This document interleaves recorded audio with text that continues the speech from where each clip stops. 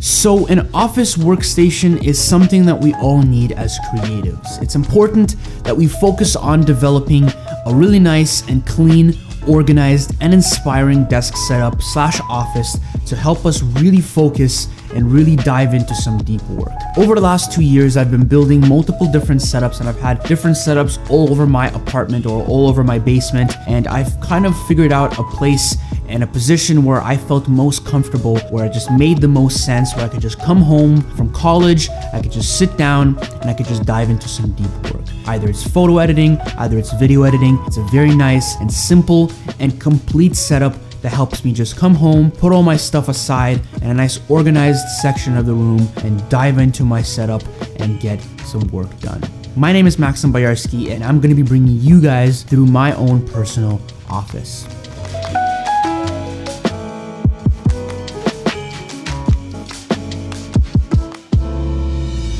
So at the beginning and at the forefront of my office, my office is located downstairs in the basement of the entire house. The entire basement is kind of my living ground. It's kind of like my own separate apartment, if you want to call it. This is where I live. I have a kitchen, I have a nice little cool dining area, washroom, massive walk-in closet, a nice living room, which is where I'm actually filming this video in. And I also have a nice bedroom where I have kind of like a backdrop where I do portrait shoots. I do a lot of my client shoots for other people because I actually shoot YouTube videos for other clients. I sleep there and it's kind of like a place where I could just sit down, relax, and gather some of my thoughts. It's kind of just kind of like that mixture of different things. And in that room, there's a door that leads us straight into the office.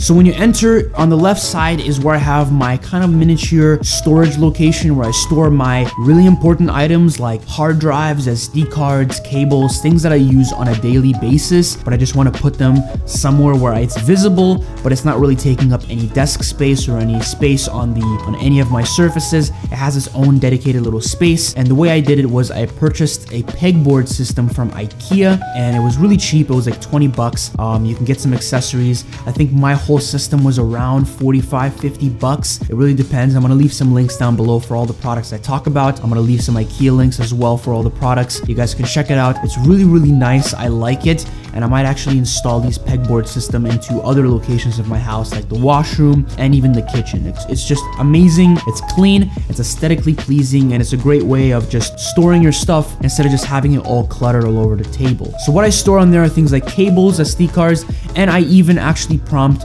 my backpack when I come from college. I hang it on the pegboard. It stores all of my necessary equipment and just keeps it off the ground and helps to give it a much cleaner look in the office. It just keeps things really organized. And if I need something like a cable, SD card, hard drive, a backpack, a lens, or any of those really important items, I have a specific dedicated spot just for that. So that's that part of the room. That's where I store my stuff. Now let's dive into the main event, which is the actual desk setup itself. So the desk setup is extremely simple. There's not much on the desk itself. It's just a table, a chair, but I made sure and keep the setup as minimal as possible to give us that extremely nice and minimalistic kind of aesthetically pleasing setup where I could just sit down and just dive into some work, get some video editing done, get some photo editing done, or do some of my client work that I do on a consistent basis. And just having a clean and simple setup was a key element of this whole build. So diving into it, let's talk about the table itself. So this is an IKEA table. It is a sit stand desk. It's not an electronic sit stand desk. It's not a motorized one where you can click a button and it lifts it for you. It's a crank system where you have to legitimately crank it yourself. I haven't really found it to be that big of a deal. It was half the price and in my opinion, um, at the time I didn't have $600 to dish out on a table. I wasn't making my own money and I wasn't gonna make my parents purchase me a table for $600. Of course now, maybe a year or two from from now, I might invest into a motorized desk because I could see the benefits of it and I could purchase it myself. But at the time, I had to purchase the crank desk. And to be honest, the fact that I have the option of sitting and standing for 250 bucks, it was just a steal. It was just something I needed to get. And right now, over the last couple of weeks, I have been standing a lot more. And standing is just an extremely important thing that you need to be doing on a consistent basis. Sitting down and sitting too much is the most unhealthy thing you can do. Like, you're literally killing yourself the longer you sit. It. And even though I'm filming this video sitting down, I know that I'm hurting myself in the end of the day by sitting down. And I need to ensure to myself that I'm gonna be standing for at least two to three hours out of that eight hour session to make sure that I'm getting a really good balance between sitting and standing. Because of course, standing for too long is uncomfortable and it's just not a pleasant experience. And the goal is to be able to dive into deep work. And if you're getting tired standing, kind of just moving around, you're kind of distracting yourself and you're kind of not really focused on your work. So making sure that you are kind of getting a good balance between sitting and standing. Not only is it good for your health, but just overall, it's just great in general. And I love the sit stand desk is great. The price is amazing and IKEA in general is a great place for all furniture just in general. So that is the furniture in the room.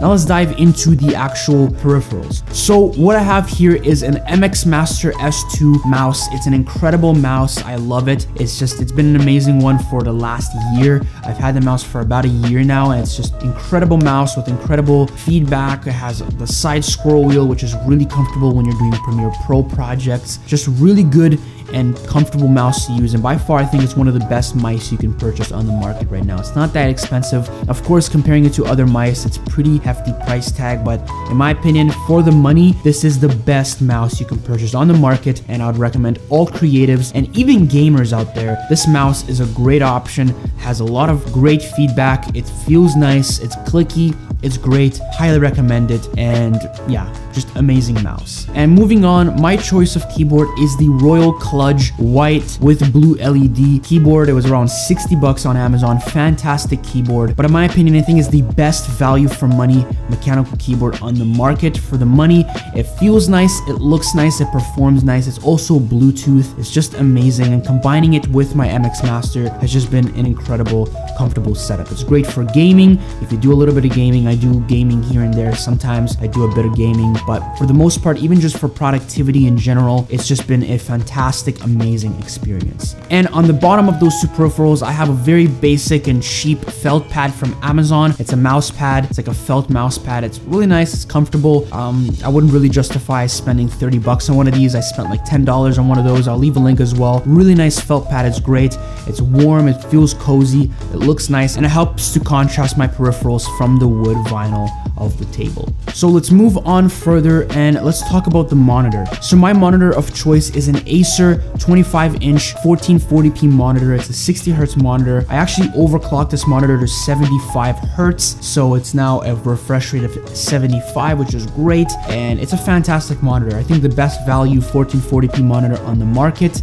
but I would not recommend for you guys to purchase it because there's actually a better monitor out there right now. You guys can buy for the same money. You can get a 4k monitor from BenQ. I think it's 27 inches and it's 4k so it's just overall better. But if you are able to find this monitor for under 250 bucks highly recommended. Slim bezels amazing color accuracy amazing viewing angle since it's ips quality is fantastic. It's aesthetically pleasing. And if you're using something like a macbook or anything like that it fits the aesthetic. It's just a really nice and clean looking screen. Been using it over the last two years for all of my photo and video editing. Just amazing screen. And if you're able to find this monitor for under 250 bucks then it's an absolute steal so now let's dive into the computer that I actually use. It is a Windows based machine. It is a custom built. I built it two years ago and it's, it's still holding up quite amazingly. It has a Ryzen 7 1700 CPU, an 8 core 16 thread CPU, overclocked to 3.9 gigahertz, an incredible beast of a CPU. I also have 16 gigs of RAM, which I am thinking of upgrading to 32 gigs of RAM shortly, as well as I'm also running a GTX 1080, which is more than powerful enough for video editing for 4K and even more. Like 1080 Ti um, improves a little bit and the new RTX graphics cards are only beneficial if you're doing crazy high resolution gaming and if you're shooting things like 8K raw footage, then maybe investing in a better graphics card like a RTX 2080 will be beneficial. But the GTX 1080 is an amazing graphics card and it just gets the job done. My CPU is water cooled. I have a really nice and amazing power supply, an 800 watt power supply, and I have a Samsung SSD, 256 SSD inside of there. It has the boot drive and it has all of my main programs like my entire Adobe Creative Cloud is all downloaded onto the C drive, which is that SSD to give it faster booting times and to just give it a much smoother experience and just to help the read and write speeds to be a lot faster when using these programs. And I also have a three terabyte internal hard drive that stores a lot of my junk files and my entire Steam library for all of my games that I used to play a while back. I also have an external hard drive. It's a six terabyte WD My Passport drive. It's fantastic. I've been using it. I've been actually editing off the drive for the last eight to 10 months. It's been great. Hasn't crashed. Knock on wood. I have a lot of files in there. I hope it doesn't crash. It's running out of storage. I'm going to need to upgrade it and I'm going to be getting the same exact drive, just in eight terabyte form.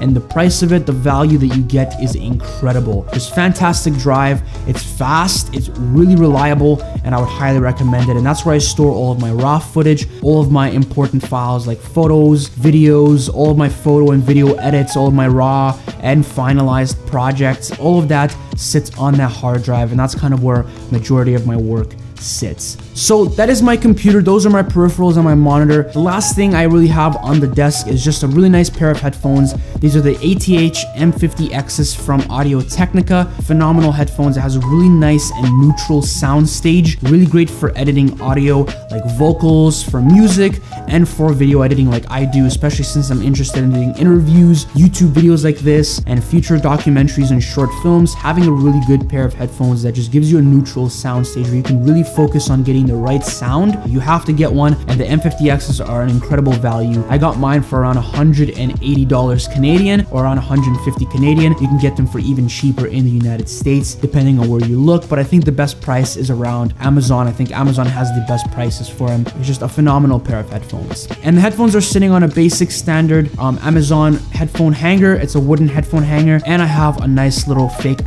IKEA plant on the side just to give a bit more life to the entire setup. So that is the desk setup itself. That's where I get all of my work done. On the left side, I have an IKEA Alex drawer unit. It's fantastic. It's where I store even more of my equipment. If there's some things that I don't need on a daily basis or things that I need but I don't use on a consistent basis or I just don't have storage anywhere else for it, I just store a little miscellaneous like any other cables that I don't use that often. This Alex drawer unit holds a lot of my other smaller accessories as well as it holds a couple of my bigger accessories that just don't fit on the pegboard system that I talked about earlier today. So that will do it for my minimalistic office tour setup for 2019. I hope you guys found some sort of value from it. Either I inspired you to build your own office or I inspired you to improve on top of your existing office or maybe you just enjoy the video in general. Make sure and slap the like button and subscribe for more videos because it helps me figure out who's watching, who's enjoying them and just let me know if you guys like these types of videos, if you guys want to see more of these types of videos or if it doesn't get enough support then I know that okay, people don't enjoy these types of videos and I shouldn't be making them. So it helps me improve this channel. And don't forget to click the notification bell just to not miss out on any of my other videos, just so you guys can stay up to date with all of my future content. And that will do it. I'm gonna head back into my office, dive into my setup and get some more work done. I got a lot to do, college work, some more YouTube videos, some more client work. So I gotta get back to work. I'll see you guys next time. Take care, go out, shoot some photos, shoot some videos, enjoy the process. And I'll see you guys next time and take care.